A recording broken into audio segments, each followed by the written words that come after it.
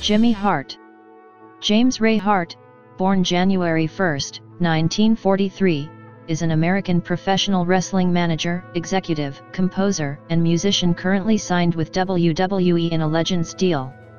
He is best known for his work in the World Wrestling Federation and World Championship Wrestling, where he used the nickname the Mouth of the South. He has managed many professional wrestlers, including Hulk Hogan, Bret Hart, No Relation, and Jim Neidhart, The Hart Foundation, Greg the Hammer Valentine, Jerry the King Lawler, The Million Dollar Man Ted DiBiase, Irwin R. Schuster, The Mountie, Earthquake, Typhoon, Dino Bravo, The Nasty Boys, The Giant, and The Honky Tonk Man.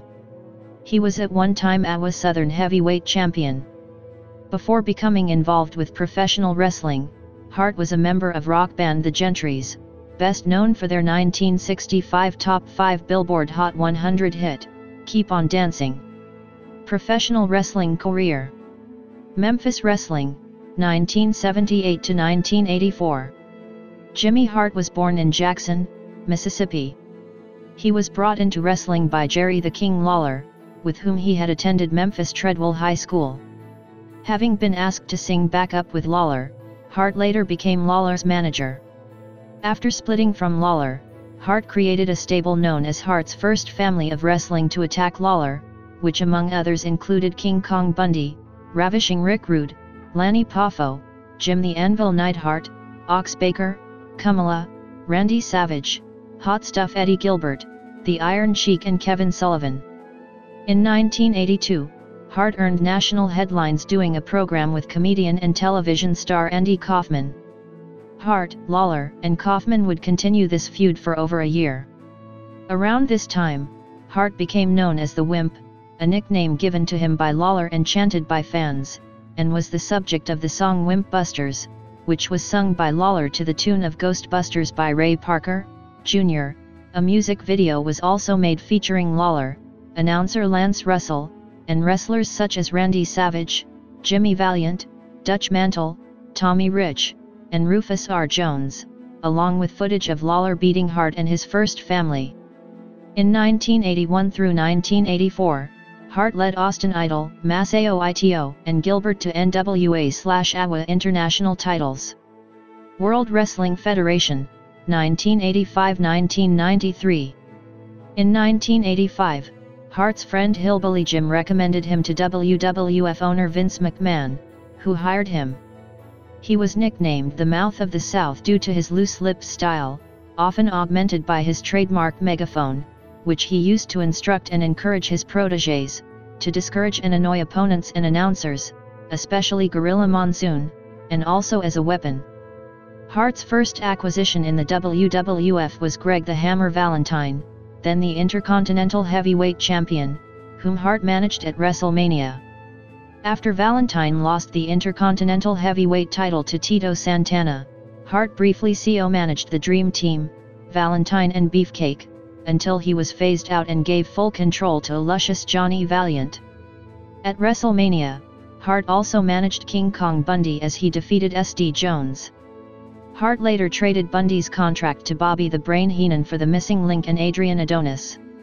He helped the latter to establish his adorable Adrian gimmick. In 1985, Hart took the Funk family under his wing. The Funks included Terry and Haas Funk, as well as their kayfabe brother Jimmy Jack Funk. Hart also managed Jim the Anvil Neidhart. 1985 also marked the appearance of Bret Hitman Hart. Jimmy Hart teamed him up with Jim the Anvil Neidhart to form the Hart Foundation. On January 26, 1987, Hart guided the Hart Foundation to the WWF World Tag Team title, which they won from the British Bulldogs. Disgraced referee turned wrestler Danny Davis also was managed by Jimmy Hart. When the Honky Tonk Man turned heel, Hart became his manager. In this position, Hart was nicknamed the Colonel in a reference to Colonel Tom Parker, the manager of Elvis Presley. With Hart in his corner, the Honky Tonk Man captured the Intercontinental Heavyweight title from Ricky the Dragon Steamboat on June 2, 1987 and held it until August 1988. During that time, the Honky Tonk Man feuded with Randy Savage and his manager Miss Elizabeth, The Colonel moniker stuck with him for years, even after the Honky Tonk Man departed the company in early 1991. At WrestleMania 3, Hart was involved in three matches and took some incredible bumps during the show. His first appearance was with adorable Adrian Adonis who fought Rowdy Roddy Piper. Then came the six-man tag match, pitting the Hart Foundation and Danny Davis against the Bulldogs and Tito Santana. Jimmy Hart's third appearance on the show was when the Honky Tonk Man fought Jake the Snake Roberts who had rock legend Alice Cooper in his corner. Following that match, Hart was left alone in the ring where Roberts and Cooper teamed up to terrorize him with Roberts' pet snake Damien. Also in 1987, Hart managed the WWF Women's Tag Team Champions Judy Martin and Leilani Kai, known as the Glamour Girls. Martin and Kai mostly feuded with Japanese team the Jumping Bomb Angels, Noriyo Tateno and Itsuki Yamazaki. Hart was named Pro Wrestling Illustrated's Manager of the Year in 1987, an award he won again in 1994. At WrestleMania 4, Hart received a haircut from Brutus the Barber Beefcake, after interfering in the Intercontinental Heavyweight Championship match between Beefcake and the Honky Tonk Man, helping Honky Tonk Man retain the title by getting disqualified. When the Hart Foundation fired Hart as manager, and turned face, in 1988, Hart managed the fabulous Rougeau brothers to feud with his former team, the angle was that Hart still retained the managerial rights to his former team and gave a portion of it to the Rougeaus, giving them the right to appear at ringside whenever the Hart Foundation wrestled. At SummerSlam 1988, Hart accompanied Demolition and Mr. Fuji to help retain their WWF Tag Team title against the Hart Foundation. Axe used Hart's megaphone as a foreign object to strike Bret in the head and secure the victory. In 1989, Hart brought Dino Bravo into his stable after the departure of Frenchie Martin. Then at a push-up contest between the Ultimate Warrior and Bravo, Hart and Bravo invited a large 460-pound man from the audience later known as Earthquake into the ring to sit on the contestants' backs. Predictably the large man was planted in the audience by Hart and Bravo and they eventually teamed up against the Warrior. In 1990, Hart groomed Earthquake to be the man to beat Hulk Hogan. Hart continued his war with his former tag team, the Hart Foundation. In 1990, he combined his protégés Honky Tonk Man and Greg Valentine into the short-lived team of Rhythm and Blues, though they had teamed previously as themselves when facing the Hart Foundation at WrestleMania V. In 1991, he managed the Nasty Boys to defeat the Hart Foundation for the WWF World Tag Team title at WrestleMania 7, this time using a motorbike helmet as a weapon. When the Nasty Boys lost the title to the Legion of Doom at SummerSlam 1991, Hart sent the Natural Disasters, a team formed out of Earthquake and his former opponent Typhoon, formerly known as Tugboat, to dispose the new champions. When the Disasters failed, Hart formed a new team in early 1992, Money Incorporated, composed of Hart's protege IRS and the Million Dollar Man Ted DiBiase. Money, Inc. defeated the LOD.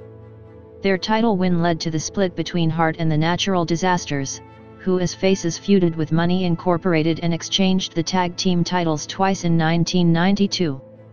Their biggest match came at WrestleMania 8 when Money Incorporated retained their titles by leaving the ring and forcing a count out. In 1991, Hart had also brought in the Mountie, who had a short reign as Intercontinental Heavyweight Champion in early 1992 after defeating Bret Hart on January 17, then losing it just two days later to Rowdy Roddy Piper at the Royal Rumble. The Mountie then went on to feud with the Big Boss Man over who was the Law and Order in the WWF. Their feud culminated in a match at SummerSlam where the loser, in this case the Mountie, had to spend the night in a New York jail. Late in 1992, Money Incorporated regaining the tag team titles from the natural disasters led to the Nasty Boys turning on their manager, as he had repeatedly substituted them for Money Incorporated in title matches. Hart broke with Money Incorporated early in 1993 and turned face when the team attacked Brutus the Barber Beefcake.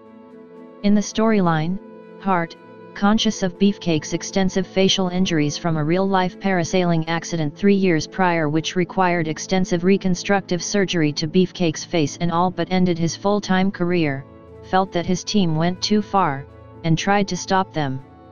Hart even went so far as to cover an unconscious Beefcake with his own body to stop them from doing more harm. Beefcake's longtime friend Hulk Hogan came out the following week and expressed gratitude to Hart for his uncharacteristically heroic actions. He managed both Beefcake and Hogan who at WrestleMania 9 lost to Money Inc. by disqualification. Later in the show, Hart for the first time would be the manager of the WWF World Heavyweight Champion when Hogan accepted an impromptu challenge by Mr. Fuji, the manager of the new champion Yokozuna who had just defeated Bret Hart for the belt. Hogan would defeat the 505 pounds, 229 kilograms, new champion in a short match. At King of the Ring, Hart was in Hogan's corner as he lost the WWF World Heavyweight title back to Yokozuna. This appearance was Hart's last in the WWF, as both he and Hogan departed the company. World Championship Wrestling, 1994-2001 Following their departure from the WWF, Hogan and Hart briefly toured Mexico.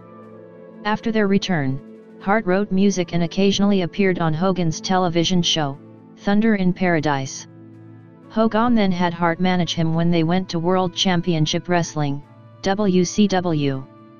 At Bash at the Beach in 1994, Hart managed Hogan to win his first WCW World Heavyweight title by defeating the Nature Boy Ric Flair.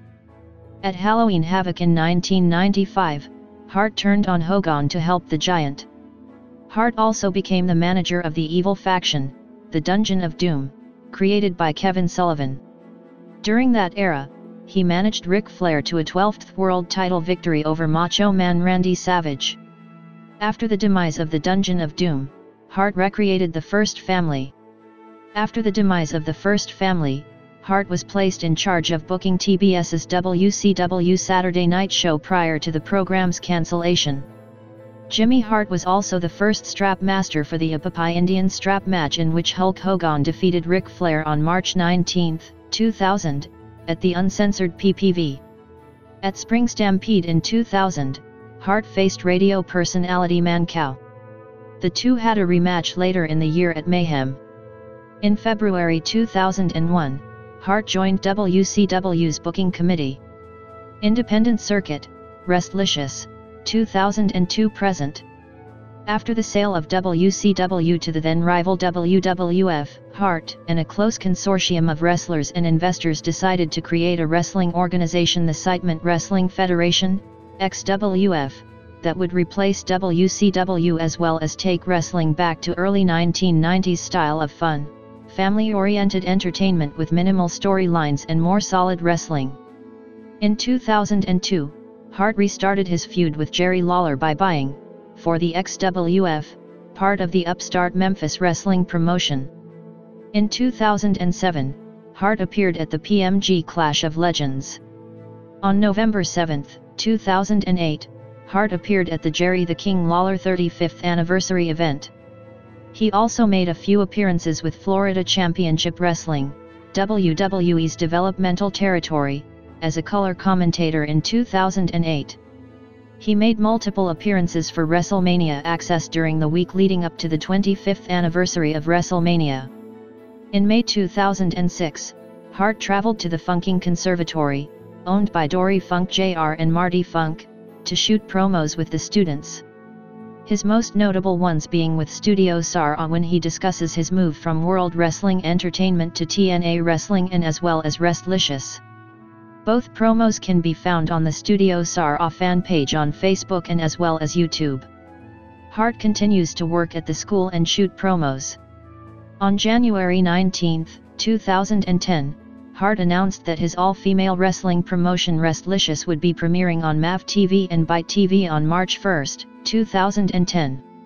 Hart currently appears at various professional wrestling conventions and autograph signings around the United States. He is a staple at all of the Wrestle Reunion shows, and also does various appearances as part of the VOC Nation Wrestling radio program in Philadelphia on 1360 WNJC.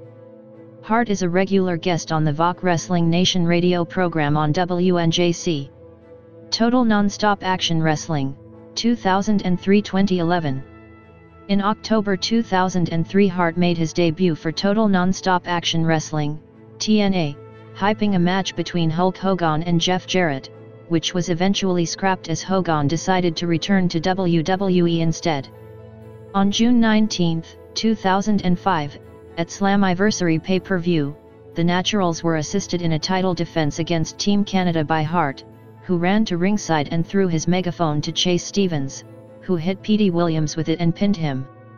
Hart acted as the manager of the Naturals until October 3, 2005. On February 14, 2010, at Against All Odds, Hart made his return to TNA as a heel by helping the Nasty Boys defeat Team 3D in a tag team match. The alliance, however, was short-lived as on March 29, 2010, news broke that the Nasty Boys had been released by TNA following an incident at a TNA function with Spike executives present. Hart stayed with the company following the incident, but his role was unknown. Hart was seen on the January 20, 2011, edition of Impact, when Kurt Angle yelled at him to play his entrance music upon entering the Impact Zone. Return to WWE, 2011 present. On March 1, 2011, it was reported that Jimmy Hart had left Total Nonstop Action Wrestling and re-signed with WWE to work on WrestleMania-related projects. Hart has since hosted various house shows. On August 14, 2011, Hart made an appearance at SummerSlam, teasing a managerial position with R-Truth during a backstage segment. On April 10, 2012, Hart made an appearance on SmackDown, Blast from the Past, where he managed the team of Heath Slater and Tyson Kidd, but ended up getting the mandible claw from Mick Foley. As of April 30, 2014, Hart was part owner of Hogan's Beach, a wrestling-themed tiki bar in Tampa, Florida. As of April 2014, Hart was a regular cast member on the WWE Network original reality show Legends House. Hart appeared on the August 11 edition of Raw for Hogan's birthday celebration. In April 2017, Hart purchased a beachfront property in Daytona Beach, Florida, and opened Jimmy Hart's Hall of Fame Bar and Tiki Deck, which is a beach bar featuring an abundance of autographed pictures, wrestling paraphernalia, and at times an Intercontinental Championship belt. Other media His book, The Mouth of the South, was released on November 18, 2004. Jimmy has also appeared in Life, for Sale a YouTube series created by Concrete Incorporated, which has Benjamin Malla as its lead. Music Before wrestling, Hart, as a teenager, was a vocalist in the 60s band The Gentrys, who had a million-selling record with 1965's Keep on Dancing. Before becoming The Gentrys, they were known as just The Gents. Their production manager told them that if they did not change their name, then they would not succeed in the music industry. Later, after the leader of the group Larry Raspberry left, Hart took over and they had a few minor hits, most notably Why Should I Cry and a cover of Neil Young's Cinnamon Girl, but were never able to match the success of Keep on Dancing. Hart and the band were successful in the Memphis area nightclub circuit. The group was under contract to Stax Records at the time of its bankruptcy, and Stax could not properly promote them. During his years in the professional wrestling business, Hart composed many theme songs for wrestlers in the WWF and WCW. Some of the wrestlers for whom he composed music were Honky Tonk Man, Jimmy Snuka, Brutus the Barber Beefcake, The Rockers, The Hart Foundation, Crush, The Fabulous Rougeau Brothers, Dusty Rhodes, The Legion of Doom, The Nasty Boys, Ted DiBiase, The Mountie, Hulk Hogan, Sting, The NWO Wolfpac, and 3 Count. He also composed the themes for SummerSlam 88, which was later reused as the theme for many early Royal Rumble events, and WrestleMania 6, which was later used for the 7th, 8th, 9th, and 10th events. One of Hart's most notable compositions is Shawn Michaels' entrance theme, Sexy Boy. In the late 1980s, Hart released a music album, also available on cassette tape, titled Outrageous Conduct. The release consisted of comical songs done in character, such as Barbra Streisand's Nose and Eat Your Heart Out Rick Springfield. In 1995, Hulk Hogan released the album Hulk Rules. Hart, as well as Hogan's then wife Linda, were a part of the band The Wrestling Boot Band and helped write and sing many of the album's songs. Television appearances In September 2007, Hart appeared on an episode of The People's Court as a witness for a defendant. Hart is a close friend of Hulk Hogan and is featured on many episodes of Hogan's VH1 reality series, Hogan Knows Best. Hart was also a judge on Hulk Hogan's Celebrity Championship Wrestling. Hart also appears in hair restoration advertisements for medical hair restoration, as a client. He also does a comedic women's wrestling show called Wrestlicious, which can be viewed at wrestlicious.com. Hart appeared on the WWE Legends House. Hart has appeared a few times in Hulk Hogan's TV show Thunder in Paradise. He also sang the intro music for the episode Deadly Lessons, PT1. Movie appearances in 1967, Hart appeared in the film It's a Bikini World as a member of the Gentrys. In 2010, Hart appeared in Sane Clown Posse's film Big Money Rustlers. In 2011, Hart appeared as himself in the Canadian movie Monster Brawl. Hart played the announcer to a wrestling tournament of eight classic monsters that fight to the death. Championships and accomplishments